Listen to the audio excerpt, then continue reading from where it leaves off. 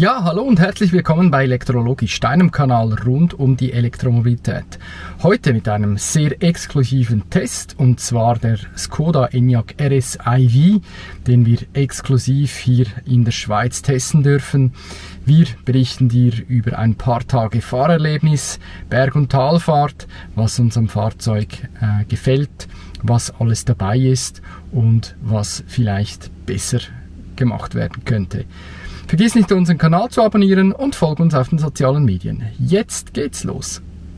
Ja, wir beginnen mit dem Interieur, mit dem RS Interieur. Schaut euch das mal an. Hier haben wir eine Carbon-Leiste. Wir haben äh, hier Alcantara respektive Stoffbezug und zwar zieht sich der ähm, ziemlich weit in der Türe, also auch da ähm, rein. Äh, ganz unten ich hoffe, man sieht es auch hier alles mit Teppich ausgekleidet. Äh, das heißt, wenn man da was reintut, dann äh, kleppert es nicht. Äh, in der Mitte äh, das Armaturenbrett ebenfalls mit ähm, Stoff hier, mit einer grünen Naht, passend zum RS-Look. Auch das Lenkrad hier äh, im RS-Look mit dem Grün. Die Sitze, die sind der absolute Mega-Hammer haben Massagefunktion drin, sind elektrisch verstellbar und ähm, sehen nicht nur toll aus, sondern sind auch sehr, sehr bequem. Wir sind ein paar hundert Kilometer mit dem Fahrzeug jetzt gefahren und die passen wirklich überall. Ja, das Lenkrad hier mit äh, klassischen Tasten. Auch diese Räder hier, die sind top zum Bedienen. Sehr praktisch habe ich beim äh, Coupe bereits bemerkt. Die Lenkradheizung, die man hier direkt einstellen kann. Hier auf der rechten Seite noch weitere Elemente. Sehr griffig. Hier äh, die Pedals zum die Rekuperation ähm, einstellen. Die äh, erinnern eigentlich an alte Gangwahlhebel. Ähm, ich persönlich muss ehrlich sagen, habe sie auf dieser Reise nicht benutzt. Ich bin ein B-Fahrer, das heißt äh, maximale Rekuperation. Von den Hebeln her, ihr seht da Start-Stopp-Knopf, äh, den habe ich tatsächlich nie gebraucht. Ein Hebel hier auf der Seite, um äh, die Wischersteuerung hinten vorne zu machen. Dann ähm, auf der linken Seite, ich habe es jetzt ein bisschen rausgedreht, der Hebel für den Tempomaten, äh, der da ist. Und natürlich äh, die ganze Lichtsteuerung. Ich hoffe, man sieht es in diesem Hebel hier. Das Licht, ähm, das man einstellen kann, natürlich auch der Blinker. Ja, vom Interieur hier bin ich wirklich sehr begeistert. Ich finde diesen Materialmix hier ähm, optimal gewählt. Ihr seht da diese schwarze Leiste die ähm, deckt so ein bisschen das Head-Up-Display ähm, ab, das ähm, weiter hinten ist. Jetzt schauen wir mal, ob ich die Animation raufbringe, die da ähm, gerade blinkt. Ich werde es dann im Video größerer Ansicht sehen. Ihr seht da den ENIAC äh, Schriftzug und die üblichen Elemente. Das AR-Display würde ich in der Tat nicht wiedergeben und das vermisse ich, wenn das ein Auto nicht hat. Ja, hier in der Mittelkonsole, das sieht ähm, von den Elementen ähnlich aus wie das Coupe, das ich bereits getestet habe. Hier die Lüftungssteuerung, die ist super, finde ich. Das ähm, 13 Zoll Display hier ähm, ist ziemlich groß, steht gerade im Raum da würde ich mir wünschen, dass es vielleicht irgendein äh, Zwiebel hätte, der ein bisschen zum Fahr geneigt ist. Die Elemente da kann man sich aber äh, anordnen, wie man möchte und dann kann man auch die Navigation hier auf der linken Seite benutzen. Ich habe mir tatsächlich jetzt in der Vergangenheit äh, jeweils ähm, die CarPlay-Funktionalität genutzt, habe das eigentlich äh, oft so dargestellt, wie ich das in meinem eigenen Auto auch tue und da ist das Display eigentlich optimal platziert. Was ihr da unten seht, vielleicht kommt euch das von anderen jetzt neu vorgestellten Autos bekannt vor, die Temperaturleiste, hier die Sitzheizung, hier die Klimasteuerung, ein Home-Button, den ihr drücken könnt, zum in die Home-Ansicht kommen. Diese drei Buttons da, mindestens die zwei, die könnt ihr selbst programmieren, da könnt ihr lange draufklicken. Und da kommt eine Auswahl an Elementen, die ihr da runterziehen könnt und äh, entsprechend äh, anpassen könnt auf eure Bedürfnisse. Ich habe da jetzt vorher CarPlay drin gehabt, weil äh, ich so mit, mit einem ups, mit einem Druck direkt äh, zu CarPlay komme. Das finde ich mega praktisch. Und da habe ich mir AirCare programmiert, damit ich, wenn ich im Tunnel bin oder irgendein alter Verbrenner vor mir fährt ohne Katalysator, nicht dessen Gestank abbekomme. Hier unten von den Elementen scheint die Sonne ein bisschen rein. Reifendruck, äh, den Modus, den wir da auswählen können. Schalten wir kurz Zündung ein, damit man das auch demonstrieren kann. Da in diesem Fahrzeug Eco Normal Sport Traction hat Allradantrieb der RS und den Mode Individual. Wenn ich im Mode Individual da auf die Poppels gehe, sehe ich da kein DCC drin kann die Fahrdynamik, die Lenkung, den Antrieb, die Klimatisierung steuern, aber nicht die Härte des Fahrwerks. Im Fahrwerk komme ich dann gerne später, wie ich das gefunden habe. Weiter unten da die, die Warnblinkanlage, die Schließanlage, die Klimasteuerung, die ich mir da auftun kann. Können wir uns nachher auch mal kurz noch anschauen. Ist jetzt ausgeschaltet, damit ihr es nicht hört. Die ähm, Frontscheiben, äh, die Rückscheibenheizung und hier ein Max-Button zum die Ent Frontscheibe enteisen. Weiter unten da die induktive Ladeschale. Da bin ich nicht glücklich geworden mit dem iPhone 12 Pro. Es ist zu klein, es rutscht hin und her. Und ähm, ich weiß aber von anderen, dass es da so 3D-Druckeinsätze gibt, dass das ähm, Handy dann in der Mitte bleibt. Je nach Fahrweise kann das ein Problem sein. Auf der rechten Seite äh, ein normaler Slot. Problem im Sinn von, dass das Handy nicht lädt. Der Becherhalter da unten, der ist geteilt. Hier habe ich jetzt Karten drin. Kann man rausnehmen das Ganze und auch verschieden positionieren. Ihr seht, ich habe da wie drei Stufen, die ich wählen kann. Entweder er steht in der Mitte oder er steht ein bisschen links oder rechts. Das ist Skoda typisch simple clever und gefällt mir sehr gut. Der kleine Gangwallhebel da, äh, wenn man den so sagen muss oder möchte, der ist ähm, toll zu bedienen, ein Touch drauf und dann ist man mit entsprechendem Element. Parkbremse hier und da haben wir noch Platz für ein paar Münzen und äh, ein Fach hier mit ordentlich Platz und einer Anti-Rutschmatte, damit das Ganze hier nicht hin und her geht. So, da probiere ich die Mittelarmlehne ein bisschen besser einzufangen wie das letzte Mal. Die kann man heben, ist übrigens auch gerade die Armstütze. Ihr seht, funktioniert wie beim Bett. Man kann es auf verschiedenen Stufen hier hochstellen. Wenn man dann äh, das Ganze offen hat, haben wir da ein Fach, das ich rausnehmen kann für Kleinkram.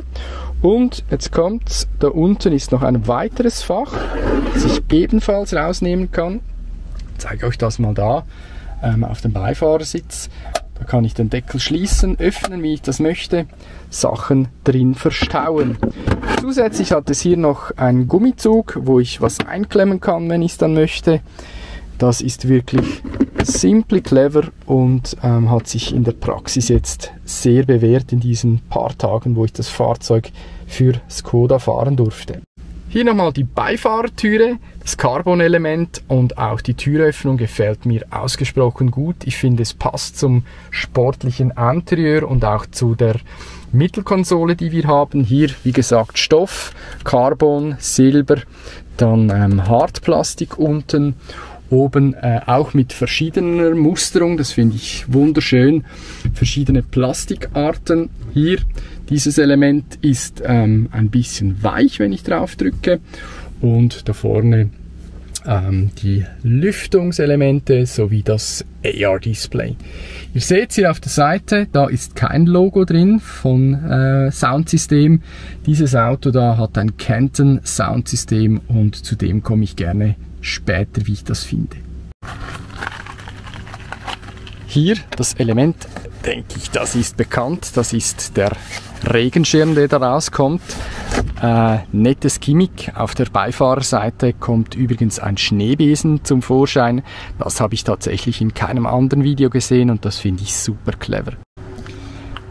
Die hintere Tür hat ein integriertes Sonnenrollo, das heißt, das Kind oder der Passagier kann das tatsächlich selbst einfahren, um äh, die Sonnenlicht zu reduzieren. Wenn man es dann wieder möchte, zack, mit einem Klick sauber versorgt. Das ist einwandfrei und meine Tochter hat das sehr genossen, diese Freiheit zu haben, dass sie jeweils die Verdunkelung so machen kann, wie sie möchte. Da noch die Fenstersteuerung, denke ich, ist klar. Hier, im Gegensatz zu der Fronttüre, ist einfach Plastik. Er geht dann aber weit, hinten, äh, weit nach hinten, das Fach. Sieht man hier ein bisschen schlecht, aber das ist riesengroß. Die Fliegersitze, ich sage denen mal so, die haben eine Durchreiche, eine fixe Kopfstütze, sind super bequem, man schwitzt nicht drin und hier ähm, auch ein doppeltes Fach, also ein größeres Fach und hier ein kleines Fach fürs Handy reinzutun. Dann ähm, hier haben wir äh, die Version mit einer 3-Zonen-Klimaautomatik mit ähm, Sitzheizung, die man hier noch aktivieren kann, die Temperatur, die man einstellen kann. Dieses ganze Setting, das kann man ähm, aus der Vorder- Klimasteuerung sperren, wenn man möchte, damit die Kinder beispielsweise nicht darum rumspielen. Weiter unten ähm, USB-C-Buchsen für die Handys zu laden und hier auch in der Mitte wieder ein cleveres Element, diese Ablagebox. Und bei dieser Ablagebox ist es so, da habt ihr Elemente, die ihr nach vorne drücken könnt, dass ihr eine Halbliterflasche reinstellen könnt und wenn ihr es nicht braucht, könnt ihr es wieder zuklappen. Das ist wirklich mega super. Die Sitze, die Farben, die Farbkombination, das gefällt mir ausgesprochen gut. Ähm, was mir hier am Fahrzeug fehlt, ist etwas vom Coupé. Ich persönlich bin ein absoluter Fan von Panoramadächern. Da kann man ein Schiebedach noch haben, soweit ich weiß, aber kein Panoramadach. Und das macht das Ganze halt ein bisschen dunkler, aber es sieht sehr sportlich aus. Ja, diese Ansicht werden Skoda-Fans kennen. Äh, wir haben den doppelten Ladeboden drin, wir haben Seitenfächer, sogar eine Tasche fürs Ladekabel jetzt in meinem Fall. Ähm, hier auf der äh, linken Seite seht ihr das, das äh, Rollo, das ähm, hier befestigt ist. Da kann man die Sitze noch nach vorne klappen, also die Arretierung lösen. Die Sitze, die sind ähm, getrennt, ähm, abklappbar. Links ein kleiner Teil, äh, ein Drittel, zwei Drittel. Und ähm, hier auch die Netzelemente noch gut zu sehen. Da sind wirklich gerade alle ausgepackt, die es überhaupt gibt.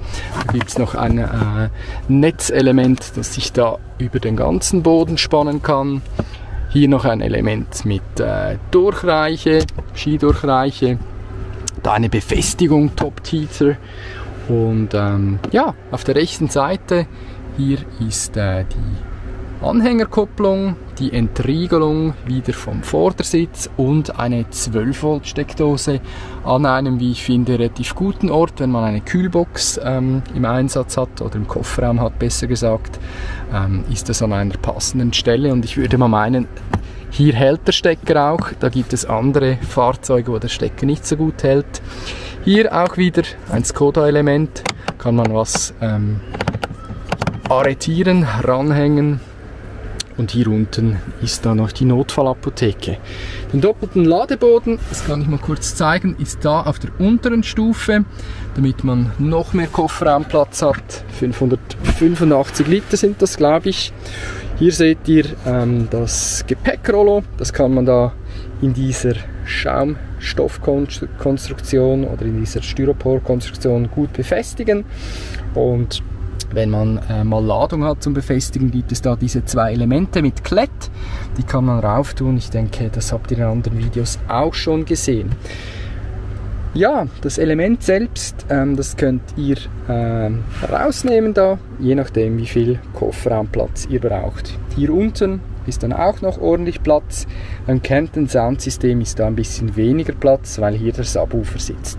Ja, hier die besagte Beifahrertür und eben den den habe ich in keinem anderen Video gesehen oder ich habe es nicht genau angeschaut. Das ist wirklich eine praktische Ablage für Zubehör. Und da vielleicht auch nochmal ein kurzer Schwenk in den Innenraum von der anderen Seite. Ich finde das wirklich super gelungen mit diesen grünen Applikationen, mit dem RS-Logo, das mag ich sehr. Und eben der Komfort der Sitze, der ist einzigartig. Auch da vorne hat es ähm, Isofix-Ösen, wenn ihr mal Kindersitz befestigen möchtet. Und da in der Mittelkonsole ähm, hat es zwei Riesenfächer und das Praktische bei diesen Fächern ist die Einsätze da. Die könnt ihr rausnehmen, wenn sie schmutzig sind. Ich finde das halt immer mega wichtig, wenn man ähm, was reintut, dass man es auch sauber reinigen kann. Und das ist da wirklich gegeben. Das Handschuhfach ist groß. Oh Wunder, es ist beleuchtet. Sieht man jetzt da nicht, aber ihr seht meine Hand. Das wird aktiv beleuchtet. Ich finde, für ein Handschuhfach gehört sich das und wenn die Größe noch stimmt, umso besser. Ja, hier ist die Außenansicht. Ich denke, das Crystal Face, das kennt man und eben in der RS-Variante, gerade mit dieser Arctic Silver Farbkombination finde ich, sieht das mega geil aus. Ähm, das RS-Logo auf der Seite vorne, die dazu passenden Felgen. Ich schwenke euch da mal kurz rauf. Ich finde auch die Felgen, die passen, die sind ganz bestimmt aerodynamisch optimiert und ähm, wie ihr seht, bin ich da an meiner Lieblingsladestation bei GoFast am Laden und wir schauen uns gleich mal das Heck noch an. Ja, das Heck vom Enyaq iV im Generellen finde ich sportlich. Es ist kantig und je nach gewählter Farbe ähm, fällt das Ganze ein bisschen mehr auf, die ganze Karosserieform. Und ich finde das Auto wirklich in Arctic Silver außerordentlich cool. Mir gefallen die Kurven. Ich finde es, äh, die Farbe nimmt ein bisschen die Härte von den Kurven weg die der Enyaq hat und das gefällt mir persönlich gut. Am besten gefällt mir natürlich das der RS Badge. Das heißt, das Fahrzeug hat 299 PS und Allradantrieb. Auch hier, das Auto kann selbst parkieren. Die entsprechenden Sensoren sind da vorhanden auf der Seite und auch wenn man äh, einparkt, der Parksensor, das sind ein paar Elemente mehr, wie wenn man die Sensoren eben nicht hat. Ja, noch kurz ähm, eben die vielen Punkte, die ich angesprochen habe. Das Fahrwerk ohne DCC, das fährt sich toll auf verschiedenen Belägen. Ich mit dem direkten Vergleich mit einem DCC kann sagen, es ist ein bisschen härter, respektive mit DCC kann man das Fahrwerk noch so weich einstellen, dass schlechter Untergrund weggefedert wird. Aber ich muss ganz ehrlich sagen, ich finde das den äh, absoluten Hammer, das Fahrwerk, für ein in Anführungszeichen Standardfahrwerk. Das AR-Display, das ist bekannt von den Elementen her, das ist wirklich mega super, äh, zeigt alles an und ähm, ja, auch die Navigation dazu, die passt. Ja, vielleicht wenn wir schon bei der Ausstattung sind, wir schauen da kurz im Menü rein.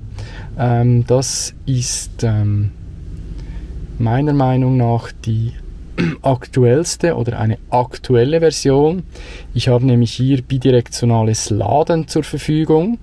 Das heißt, das Fahrzeug kann euer Haus laden. Ich habe da auch noch äh, dabei im Fahrdisplay die Verbrauchsinformationen. Aktualisierungen da sind keine vorhanden. Also ich würde sagen, das müsste 3.1 oder 3.2 sein. Könnt ihr ja gerne in die Kommentare schreiben für andere Benutzer, die das äh, vielleicht auch noch interessiert. Die Software selbst, die läuft flüssig. Ähm, es gibt mal teilweise Elemente, je nach Grafik, ähm, wo es einen Moment dauert, bis das alles da ist.